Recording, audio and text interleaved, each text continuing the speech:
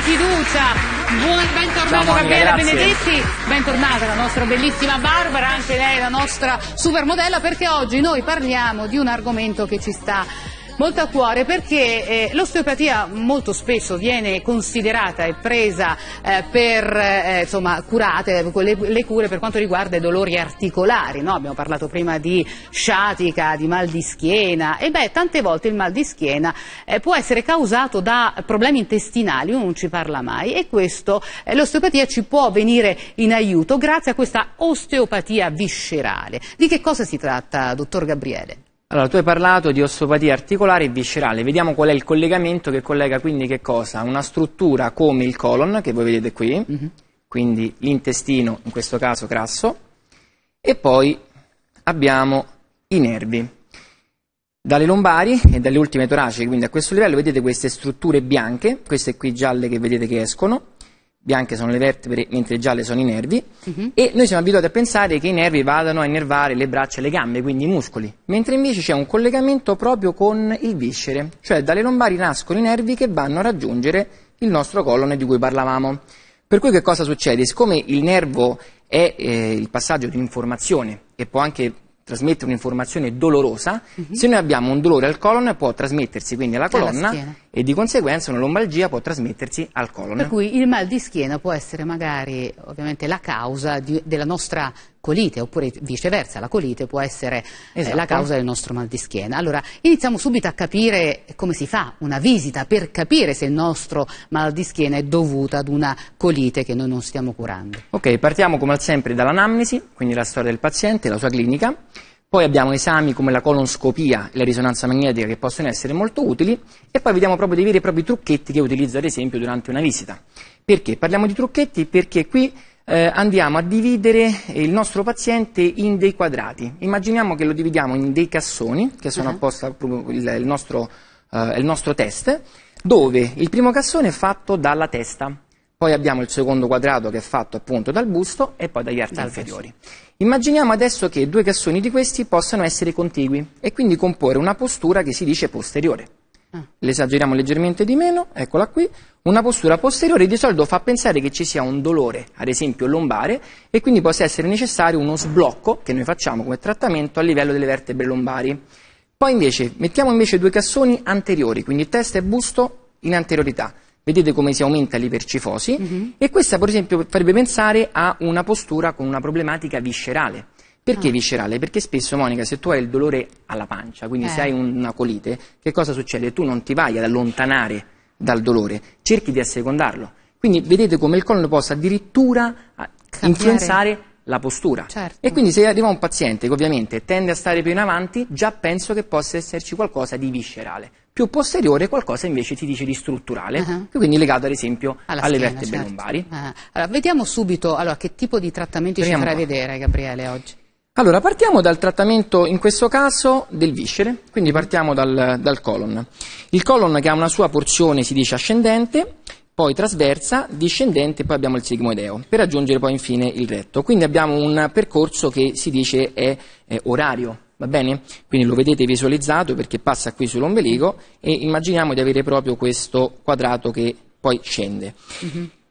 La cosa importante da fare anche come test è quella di palpare il colon, quindi sentiamo se ci sono delle tensioni, sentiamo se abbiamo sotto le mani la sensazione di qualcosa di più denso.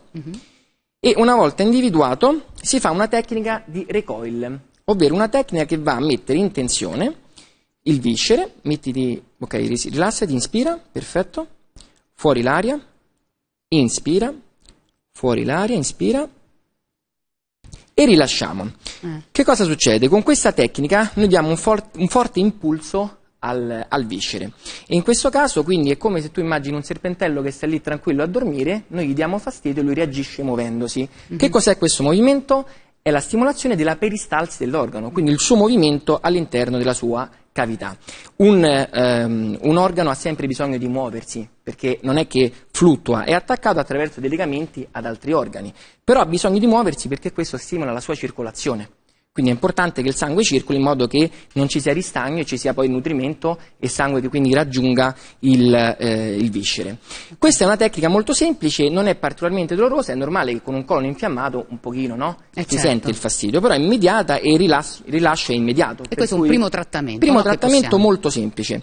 Questo per quanto riguarda il viscere. Vediamone invece uno per la lombare, quindi proprio strutturale, quindi passiamo alla colonna. Perché Giriamoci la colite fianco. può portare, appunto, come ho detto prima, Può anche portare a questo perché- schiena, per cui bisogna sbloccare anche la schiena. Sì, immaginiamo proprio appunto che arrivi questa informazione di dolore qua dietro, quindi l'infiammazione si sposta con un semplice collegamento nervoso alla parte posteriore.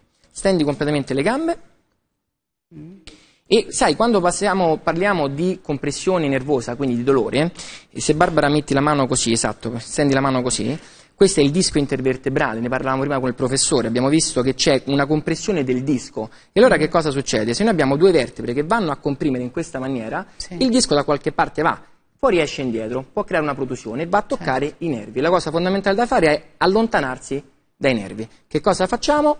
Andiamo a sbloccare e decomprimere il disco. Lo facciamo immediatamente.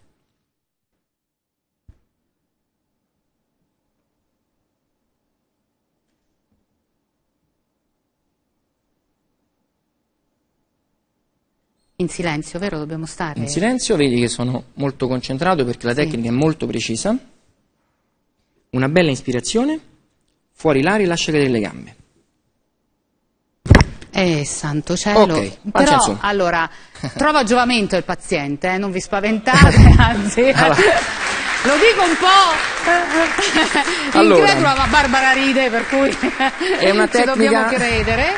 È una tecnica visivamente forte. Eh, certo. E eh, sì. in realtà non c'è forza, perché io non ci metto forza, c'è una questione di tecnica dove faccio scivolare semplicemente i piani E poi fa articolari. bene, adesso volerà la nostra Barbara, Sì, sì, se si sulle punte andrà, io lo so.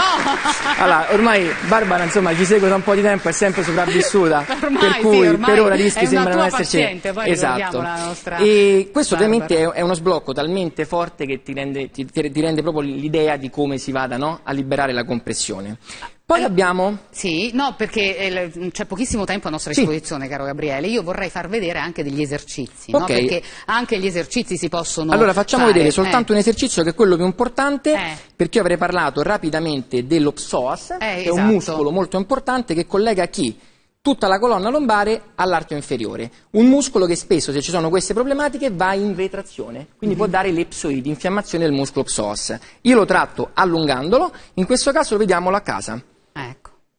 Ci posizioniamo tranquillamente sul tappetino. sul tappetino, con calma. Eh. Ok, lo facciamo, vedete, con un appoggio, perché è normale che questo può essere fatto a tutte le età, è normale che siamo un po' avanti con l'età, cerchiamo di fare con un appoggio, così abbiamo anche la possibilità di ritornare dopo in piedi con calma, Eh. e l'obiettivo qual è? Cercare di andare a allungare questa parte. Perché Ah, uno stretching, passa qui, quindi è praticamente. Eh. semplicemente uno stretching. Siamo così per due minuti cercando di allungare sempre il più possibile la parte e questo piano piano andrà a rilassare il collegamento che noi abbiamo proprio tra lombare e l'anca. Per quanto tempo dobbiamo stare così? Eh, Lo facciamo per due minuti. Per due minuti. Per due anche minuti. a casa noi lo possiamo fare. Lo possiamo fare anche a casa, questo lo consiglio sempre, eh, lo possiamo fare la mattina per sgranchirci un pochino, ma soprattutto la sera, Ah. perché la sera siamo più caldi, c'è più circolazione eh, sanguigna e quindi possiamo sfibrare meglio il muscolo fisiologicamente e creare l'allungamento proprio del- dell'allungamento muscolare e dello stretching. Grazie al dottor Grazie. Gabriele Benedetti, grazie alla nostra bellissima Barbara Torraco.